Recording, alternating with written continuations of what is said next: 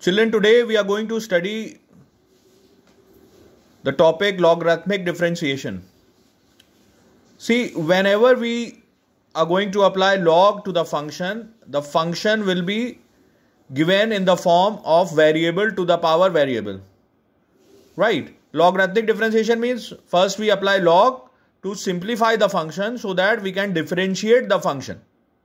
Okay? So when the function is given in the form variable to the power variable or function to the power function like here fx to the power gx or variable to the power variable.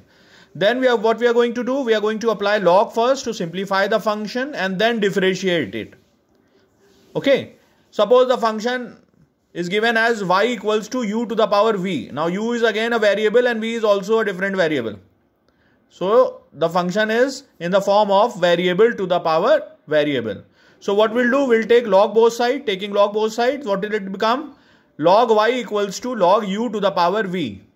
Now, there is the property of log, log that log m to the power n is n log m. The power comes in front.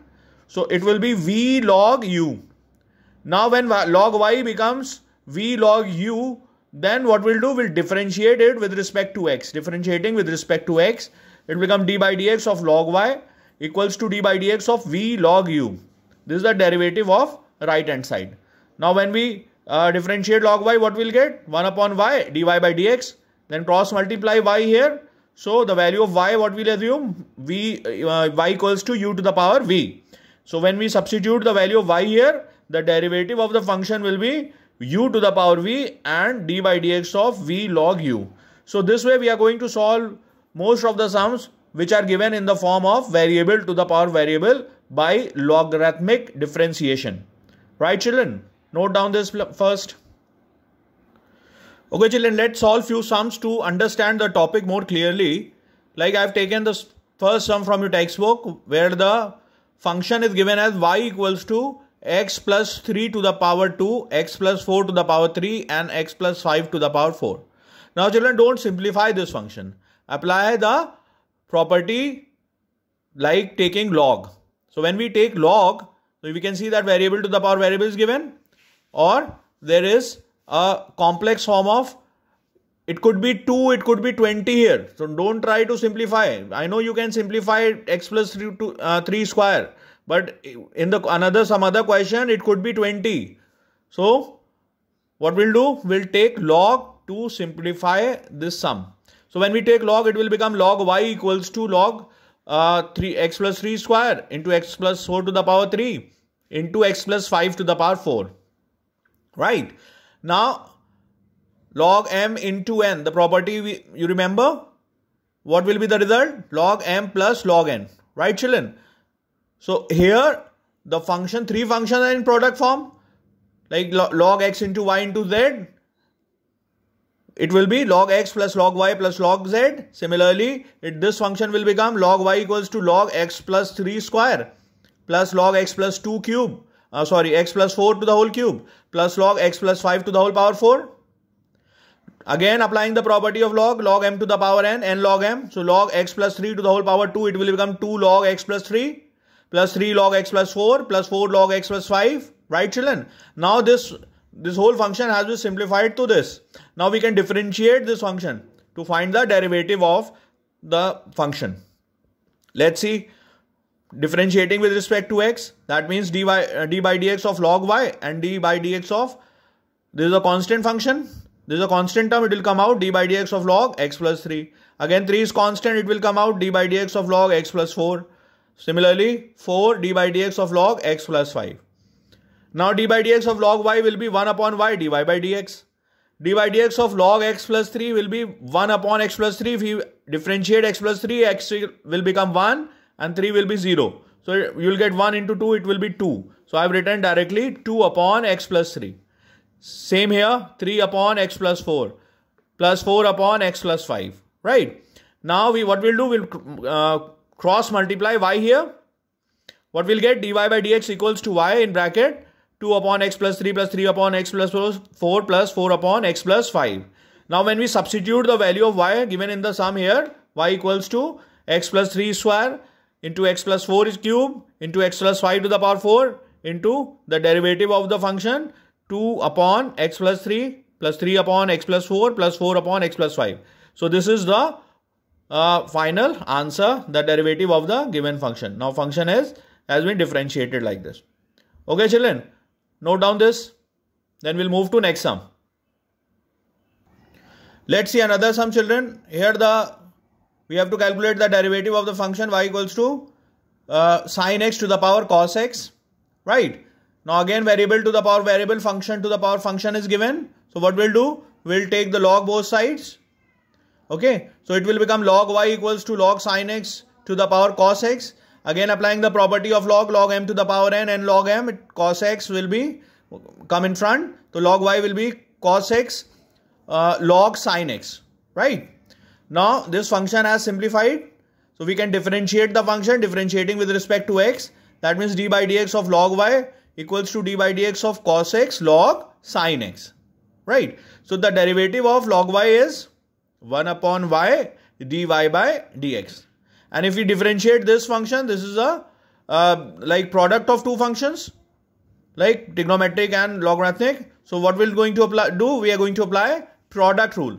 So what is product rule? First function d by dx of second function plus second function d by dx of first function. So this will become cos x d by dx of log sin x plus log sin x d by dx of cos x.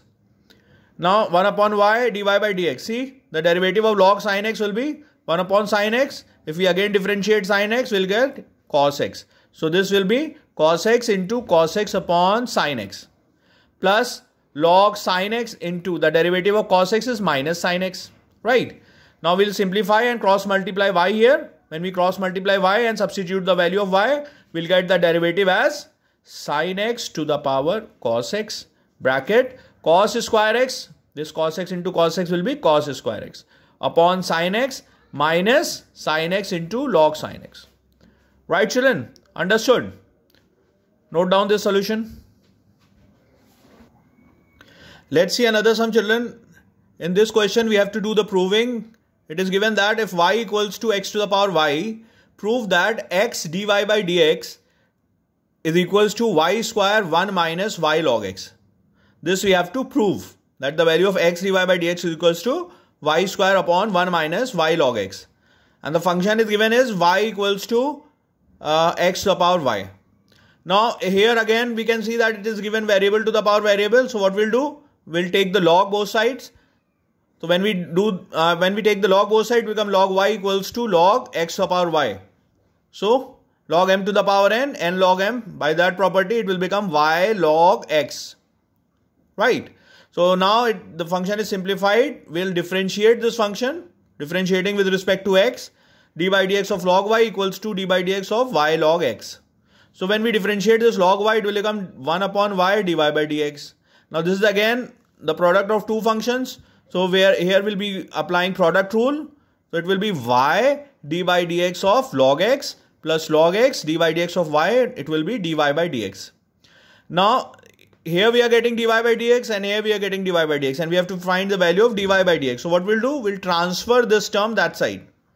So it will become 1 upon y dy by dx minus log x dy by dx equals to y upon x. Now when we take common this dy by dx, the function will become 1, 1 upon y uh, minus log x equals to y upon x. Right. Now on taking LCM, we'll get 1 minus y log x equals to y upon x. Now what we'll do, we'll just cross multiply to obtain the result. So this will become, when we cross multiply, x will come here and this y, y multiplied here. So y into y, it will be y square and this multiplied in the denominator upon 1 minus y log x. So this is the required proving that we have to prove x dy by dx is equals to y square upon 1 minus y log x. Hence proved. Right children? Note down please. Let's discuss another sum children. This sum is given as y equals to x to the power x minus 2 to the power sine x. Okay. Now there are two functions and minus sign is there in between. So how we are going, if we get this type of situation, then how we are going to solve this sum? Let's discuss. So what we're going to do, we are going to assume x to the power x is u and 2 to the power sine x as v. So what is written? y equals to u minus v is written. And we have to, if we calculate the value of dy by dx, so this will be du upon dx minus dv upon dx.